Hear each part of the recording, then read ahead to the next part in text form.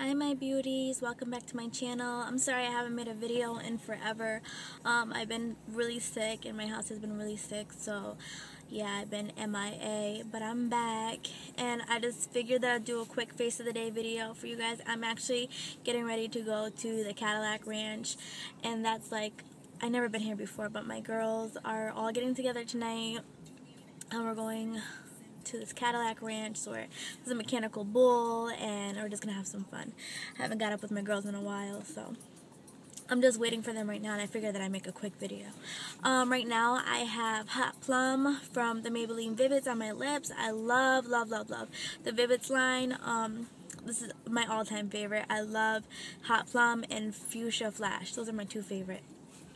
Um, on my eyes, on my lies, on my eyes, I have um, Sin by Urban Decay. And then the crease, I actually just use my bronzer and I just um, put it in my crease. And on my um, eyebrow bone, I have Skimp. Yeah. And I have my regular um, Wet n Wild eyebrow um, kit. And I have the Rocket Mascara by Maybelline. I love, love, love. My favorite mascara at the moment is the Rocket by Maybelline. Um, I only have to use that one mascara. And I actually have the a little bit, just half my um, eyeliner done, and it's half um, of the Maybelline uh, Lash Stiletto or Line Stiletto in brownish black.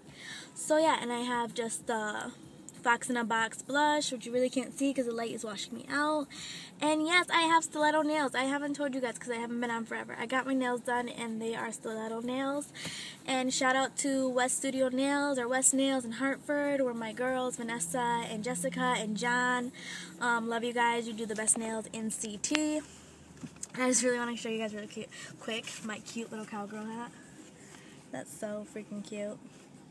So, yeah, I'm about to have some fun with my girls. I'm going to ride the mechanical bull. Maybe I'll tape inside. I'm not sure. But, yeah, love you guys. Thanks for watching. Thanks for subscribing and comment, rate, and subscribe. Love you guys.